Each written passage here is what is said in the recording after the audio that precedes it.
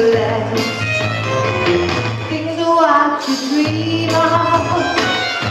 But never get possessed